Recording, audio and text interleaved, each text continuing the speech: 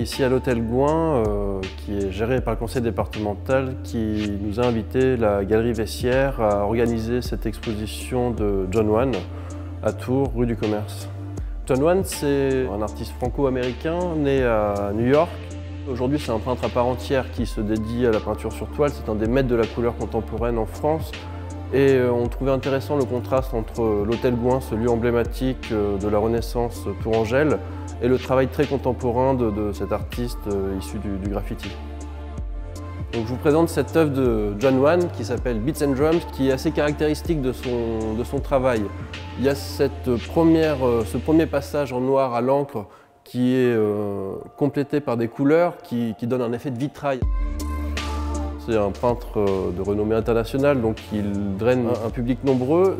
Le public vient, vient en masse. Le fait de voir qu'il commence en noir et blanc et qu'après vient s'inscrire la couleur, alors que assez traditionnellement, le noir vient plutôt cerner les formes. Quoi. Ce passage, quand la production passe du noir et blanc à la couleur, je l'ai trouvé assez intéressant. On est assailli et englobé par la couleur.